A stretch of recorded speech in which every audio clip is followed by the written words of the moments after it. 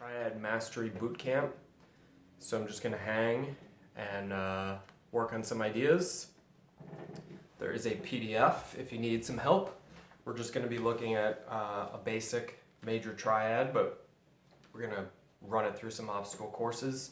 Uh, today I was thinking I would do leading tones, circle of fifths, okay, movement, trying to get ideas happening around the fretboard, and our fingers moving, and just a little bit more mastery of our fundamentals. So, uh, welcome. If you do have any questions, feel free to drop them in the comment section. Facebook doesn't always show them to me in real time, so if I don't see them or respond, it might be because I just don't see it. Let's start with C major. Again, if you need the PDF, you can grab it at the link. Let's just first run through the basic three positions that I personally like to practice when I'm sitting and warming up and getting things happening. Um, yes, there are more than three positions, but I really like these three. I kind of whittled it all down to these three when I was having to relearn to play due to my medical issues uh, because there is no overlap. So that means that there are kind of some positions that are somewhat missing, but they're not really missing.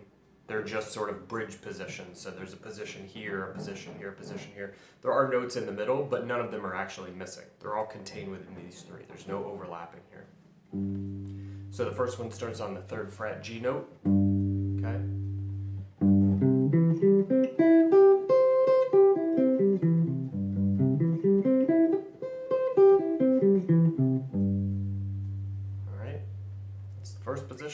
One's the eighth fret, sort of root position triad, starting on the C note. And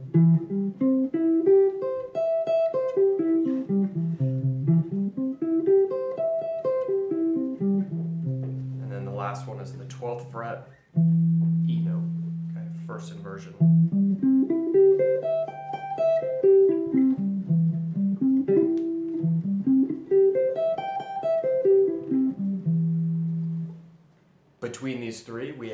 All of our C major triad notes covered from this low G to this high G.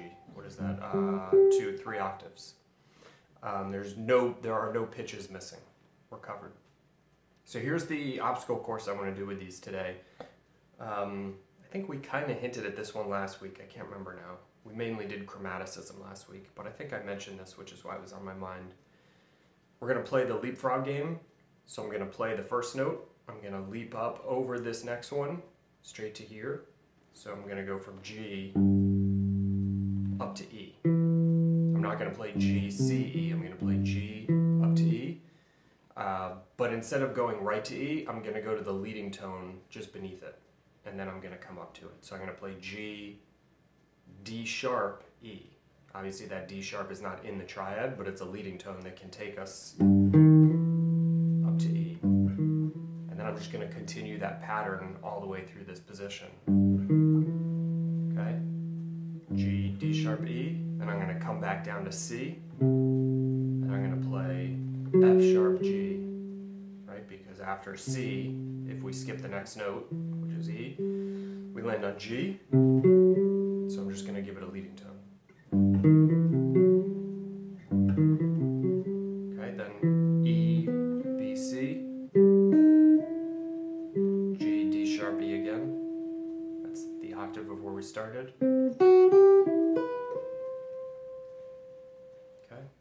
Whole position ascending.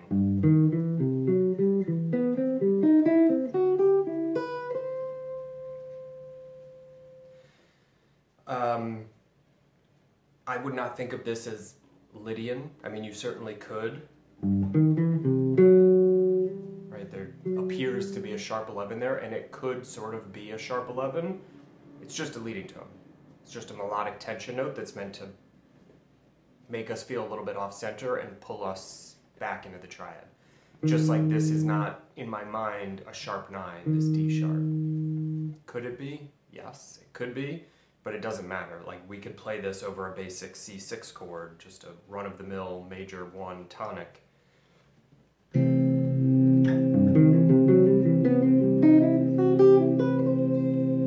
Okay?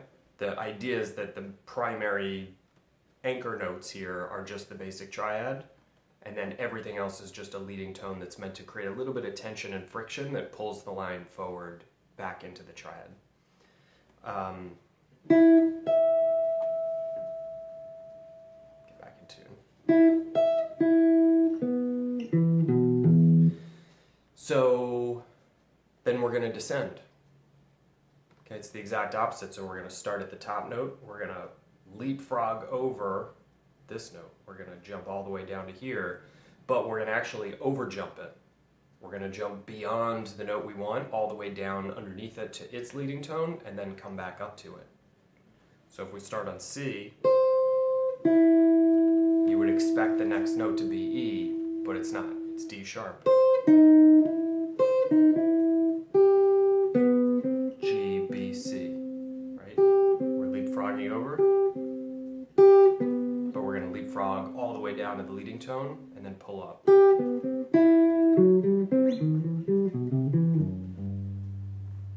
So, all the way up, all the way back.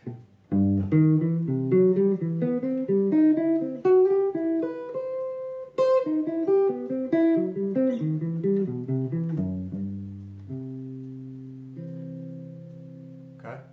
Let's take this. I got my Drum Genius app open. Let's take this and um, let's just move this position through the circle fifths. Okay?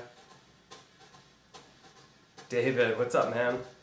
Uh, I hope the office is closed for a good reason, but it's cool to have you live with us on here.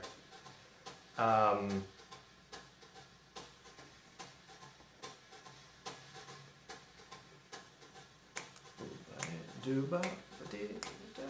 so, okay, that's kind of the vibe we're going for. If you need to go slower, that's cool. Go slower. Maybe turn my volume down and set your metronome where you need it to be. Um, but I just I haven't warmed up yet today, so I just want to get my fingers moving. Uh, I'm gonna try and just take this through the circle of fifths with no stopping. We'll see if it happens. One, two, one, two, three.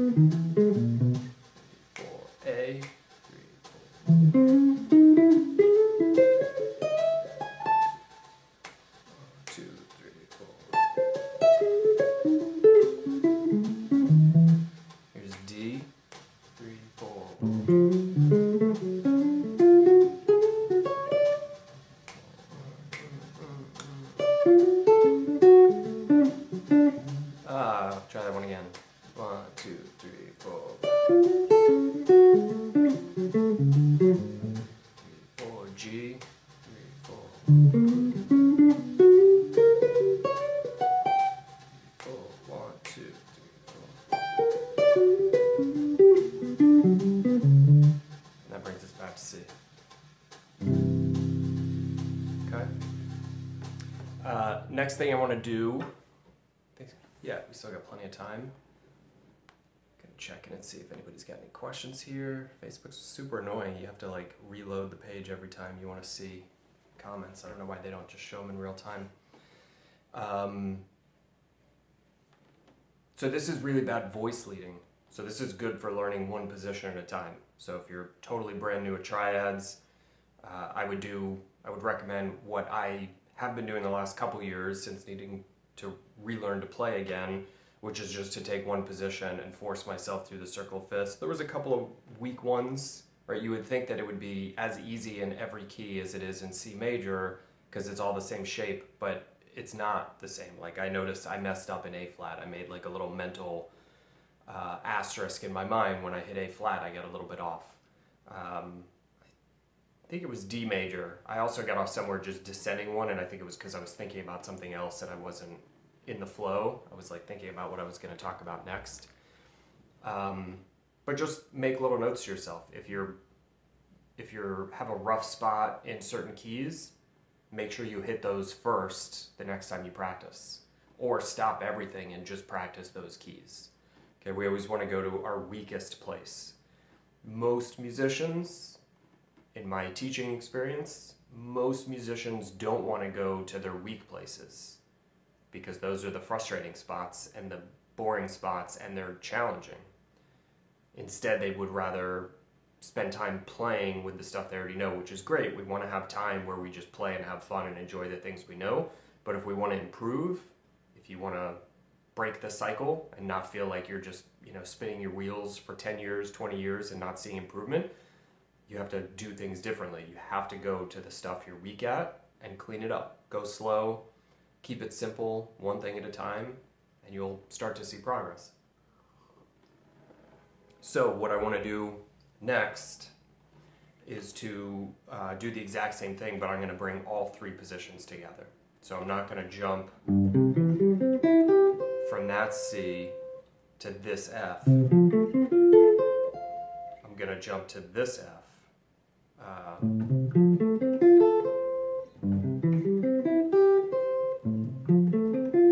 why? Because it's way closer. So the goal here is to try and move slowly up the fretboard, one key at a time, still moving through the circle of fifths. No big leaps, no big jumps. We're looking for smooth movement up the fretboard, okay?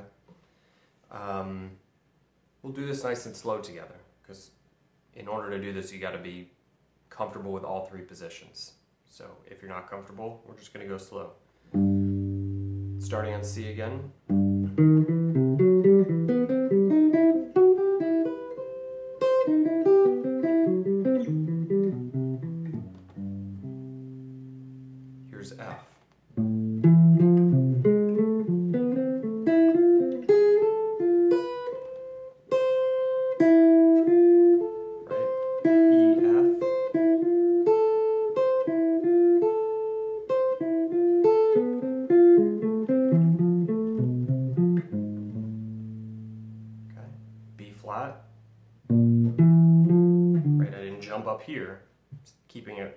Next to F, just right on top of it.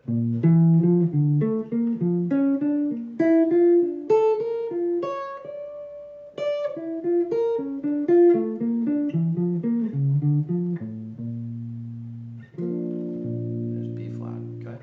Without moving, now I'm in the key of E flat. It's the same position that I started in, the same sort of inversion of this triad skeleton structure, uh, but now it's right here.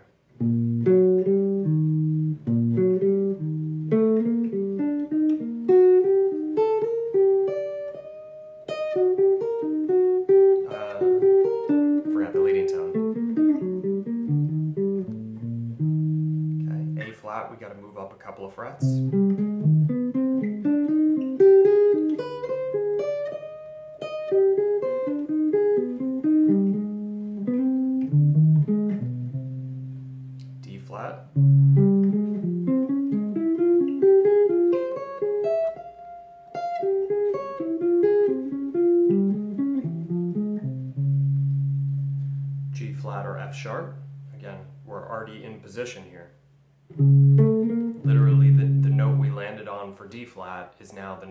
Starting on for G flat F sharp.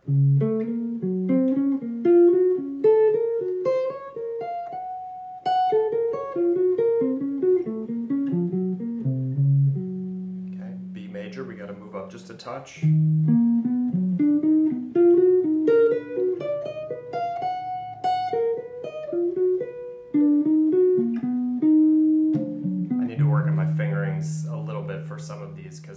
Tripping over myself. So um, again, that's a little asterisk in my mind that I'm gonna have to go back and make sure I'm using the best fingers uh, for the next note. Like I was, I'm always trying to think one or two notes ahead um, and find the right fingers so that I never find myself kind of like tripping over, like when I'm trying to get to a note. In real time, when I'm performing, I don't care.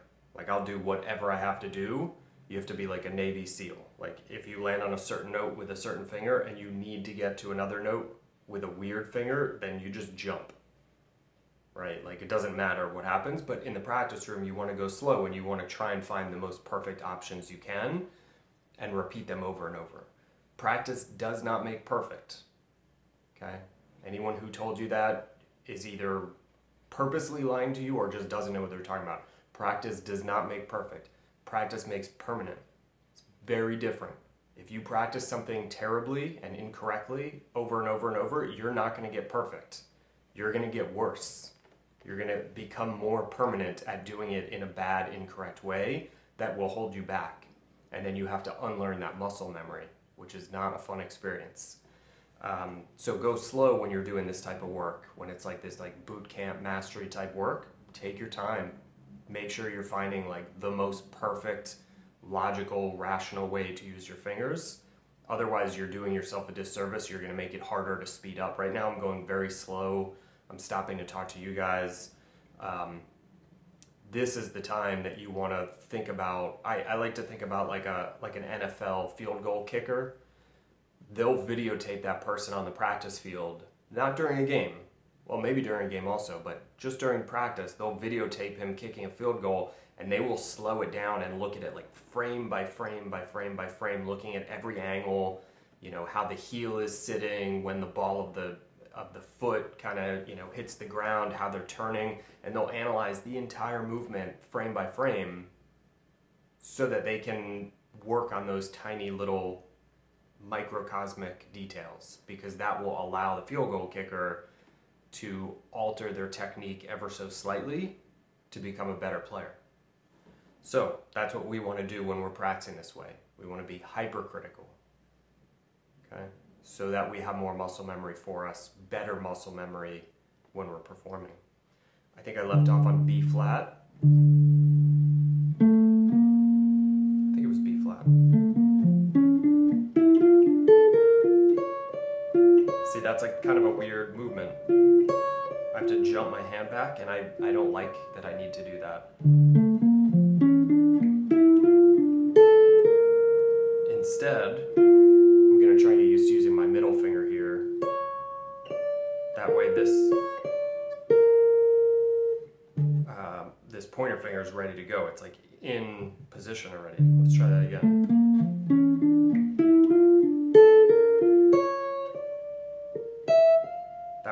Doing this back and forth several times. Again, when I'm improvising, I don't care. I'll do I'll jump around as much as I need to when I'm improvising, but when I'm trying to just build muscle memory, this is the time to look at these tiny little details.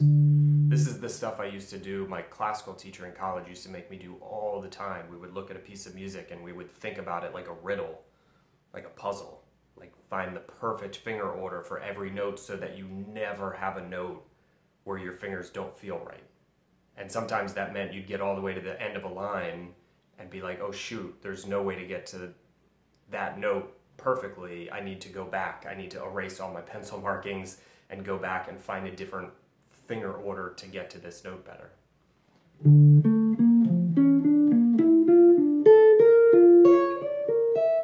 Okay, once I get this finger order, which I like now, I'm gonna do that on repeat a bunch of times over and over and over because practice makes permanent.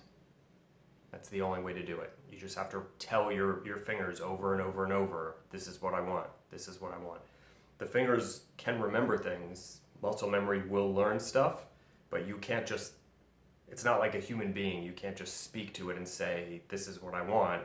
They're they're like puppies, right? You have to be consistent and disciplined and train them over and over and over and over, and eventually they will understand what it is you want from them through repetition. But that only happens if it's the same thing every time.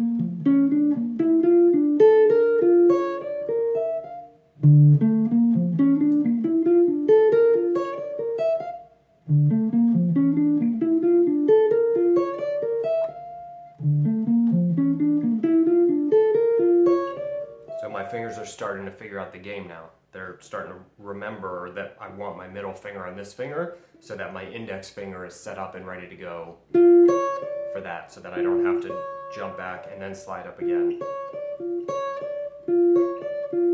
Can you guys see my hand? I don't know if you can see it the way I can, but it's much less movement. I'm kind of over exaggerating it now so you can see my whole arm moving.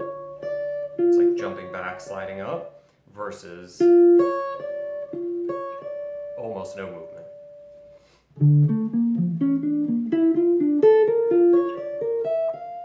Okay, back down. So here's the opposite problem.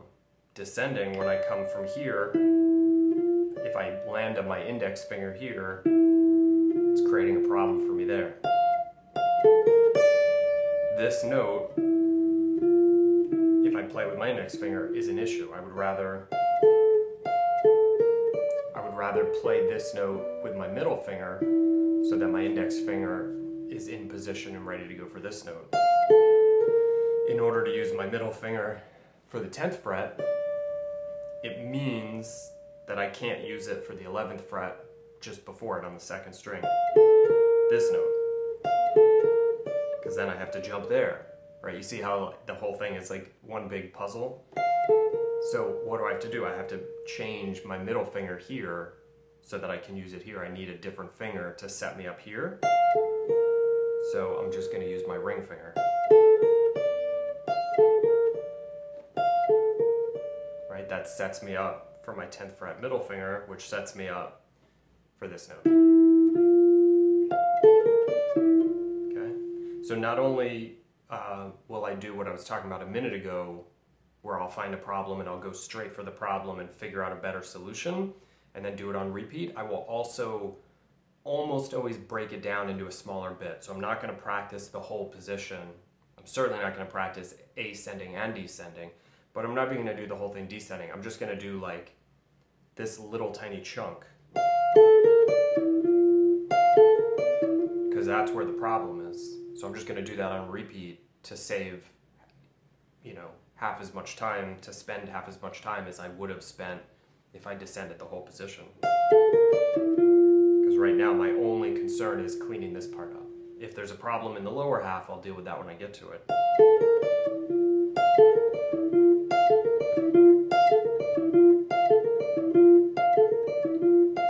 Okay. This is just teaching my puppies how to sit and how to roll over and how to grab a beer out of the fridge for me. Right?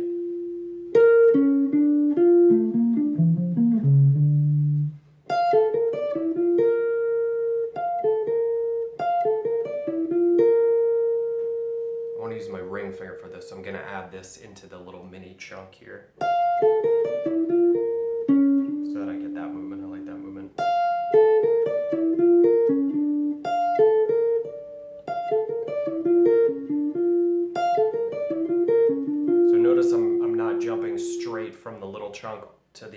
Position. I'm building it back up kind of a couple notes additional at a time.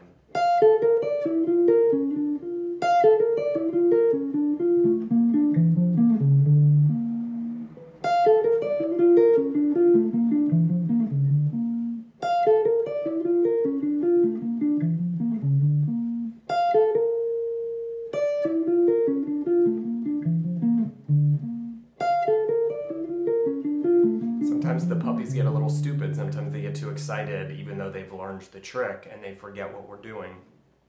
That's why we just have to be consistent and disciplined.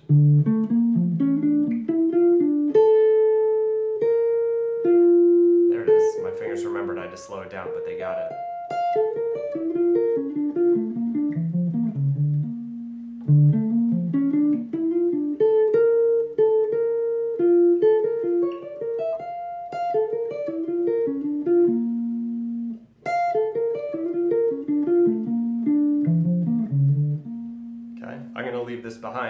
Tell you this right now. I'm only doing this for the sake of time.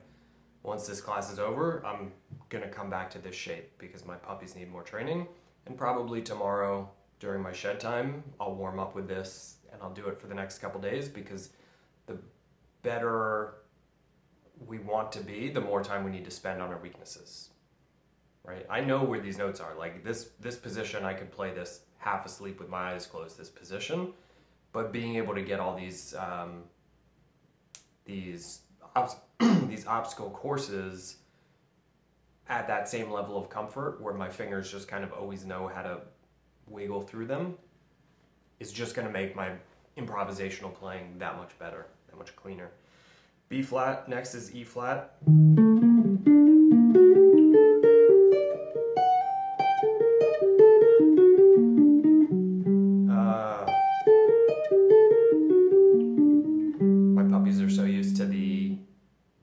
Position, that other position we were just playing. Let me do this one again. Here's E flat.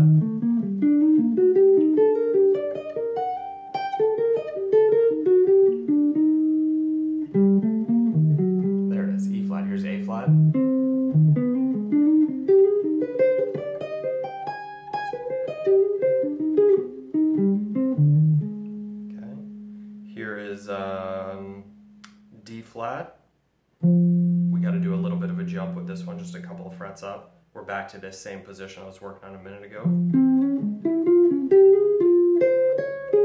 Right? My finger remembered to do what I wanted from it. And ascending again. D flat here is G flat.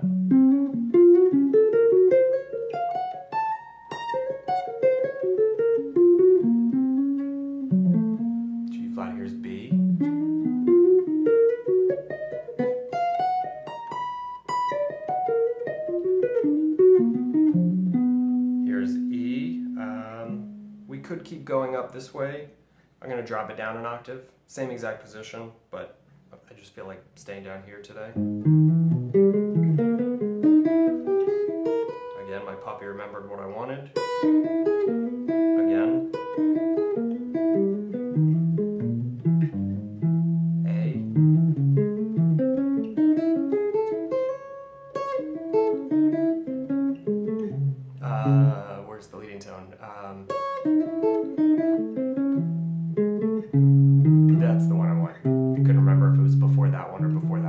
That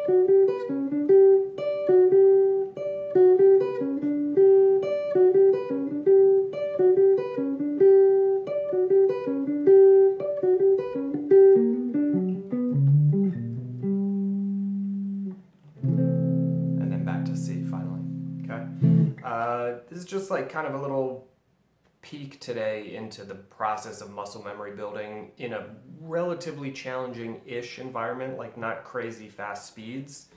Um, but we're not just sitting inside of one position and just doing the same thing over and over. We might need to, right? By moving through the circle of fifths, we're forcing ourselves to look at every position, every inversion, um, or I should say every key using all of our inversions. We're not necessarily hitting every inversion within each key, but we're forcing ourselves to move around the fretboard, hit every major triad, major key, um, using three different inversions, and that will show us weak spots, weak keys, weak areas of the fretboard, uh, weak muscle memory, and then we have to go in and we have to fill in the holes. Okay, um, this was was and honestly still is a lot of the foundation building work that I started doing when I needed to relearn to play. Um, because to me, if I can see this, like this is directly applicable to playing over standards. Whether or not you can see that yet, that's cool. Keep hanging with our live classes. Um, check out our courses if you want to, but you know, I'm gonna do my best to continue guys, continue showing you guys a lot of just like little snippets of how I like to think. But this could be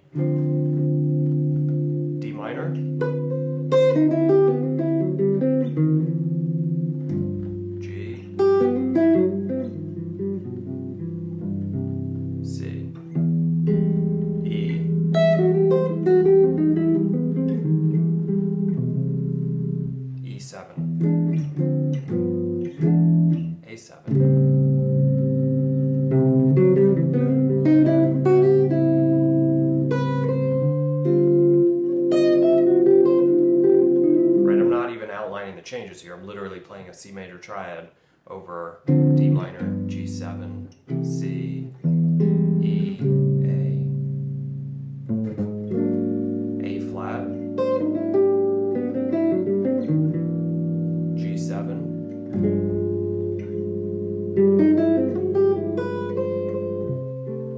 to C.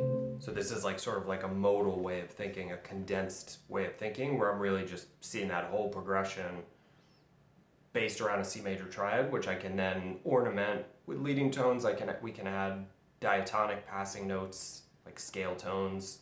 We can add a lot of stuff, but this is sort of the skeleton that it's all built within inside of, um, which is very helpful for me to be able to see the whole fretboard based on this type of structure for melodic playing because it shows me where my strongest diatonic anchor notes are. Everything else is secondary to these three notes for the way I like to think and hear and play. All right, I'm going to wrap up. Uh, I want to check in on you guys and see if there were any questions I can hit before I got to go. Um, Michael, you're welcome and thanks for hanging, man. I appreciate that. Daniel, thank you. Uh, David, do you advise sliding or picking that half step in the pattern? Um, either, both, neither. Right? You could hammer on, you could slide, you could pick them both. You could, um, you know, for it, it kind of depends on where you are, where each individual person is with their playing, and what your long term vision is for your music. If you're beginner or early intermediate, I would say don't really worry about legato playing. Like just pick everything because you can remember what I was saying before, like your puppies, these are like puppies, right? So we can't ask puppies to learn to sit and roll over at the same time. They can only learn one trick at a time. That's just the nature of puppies. So if you're still working on your uh, on your triad shape, you shouldn't even be doing leading tones to begin with. Right? Just practice your basic triad position. If you can do that, then you can try it with the leapfrog game. If you can do that, then you can add the leading tones in. So there's like three different tricks at work just to play right? There's a position, there's a leapfrog game, and there's a leading tone. So I would personally recommend, depending on where a musician is, work on each one of those, you know, add one thing in at a time. You might need to start just with the position, then you can add the, um, the leapfrog, then you can add the leading tones. Okay, those are three different tricks. Much easier to learn one trick than it is to learn three at the same time. Even if you learn one trick, then another, then another, you will learn that in three separate practice sessions quicker than trying to learn it all at the same time. So that's my first piece of advice. The next thing that you're talking about is getting a legato feel with slides or hammer ons, uh, not picking certain notes. That's another trick, right? That's just another layer of complexity built on top of this very stupidly simple.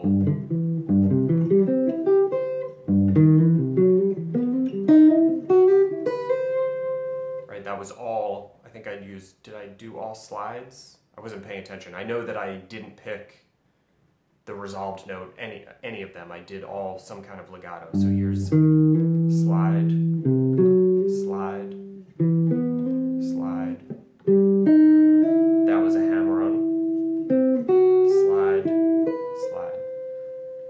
just like I was doing before with picking the correct fingers to get me through it properly, you might want to pick one technique at a time and see if you can make it happen. Like just practice the slide.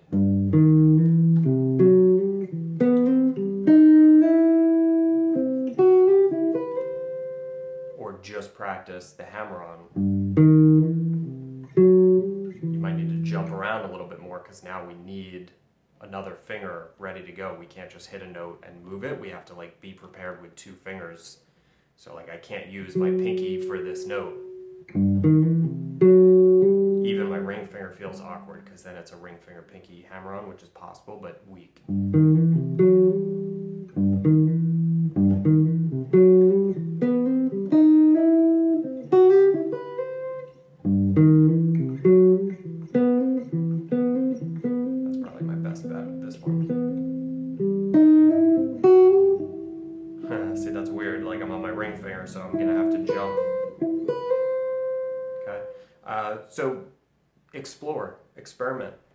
Feels right for you. Your the tendons and muscles and joints in your hand are constructed differently than anyone else's. Right? They're not the same as mine. They're not the same as anybody's. So there's not going to be a book that's going to say this is the best way to do it because it's not going to be true for everybody. It will it might be the best way for the person who wrote that book, but that might be because they have a longer pinky finger than you do. Like I don't know, like just everybody's different. Plus we all have a different state of muscle memory that's already present in our fingers. So you've been playing for a long time. I know you have, David, and your muscle memory, all the stuff you've played throughout your life, the habits you have, are going to dictate to you what feels more comfortable for you that might not work for me. It might not be comfortable. So it's just one of those things you just have to explore. Set five minutes aside to just think about the mechanics of the hand and to really like don't judge anything, just explore, experiment, and just ask yourself what feels good, right? Um, and then, of course, what sounds good. If it doesn't sound good, that's more important than if it doesn't feel good. We can train our muscles to do new things and it will eventually feel okay, but if we can find a way to do it in the framework of what's already comfortable, it will be quicker. Um, it says there's 11 comments, I'm only, but it's only showing me four, so hopefully there's no other big questions. If there is, you guys can always hit me up um, in a message or I'll try and get to them uh, when I wrap up and I and Facebook shows me the rest of these. Uh, Paul, you're welcome. Great to see you on here, man. Sean, uh, great stuff. Warm up, never get tired of the boot camp. Yeah, I mean, boot camp for life, man. Just like you know, build that foundation, and then over time, there's going to be cracks in the foundation, and we're going to have to come back and fill them back in. It's it's a you know it's a lifelong thing, but we can learn to find enjoyment in it, and the stronger the foundation gets, the more fun we can have when we're playing. Which for me just makes me enjoy coming back to the really boring, rote, trivial stuff because I know that it'll get stronger and that my playing will become better from it. Uh, I gotta run. Thanks for hanging today, everybody. I'll see you again soon. Happy practicing.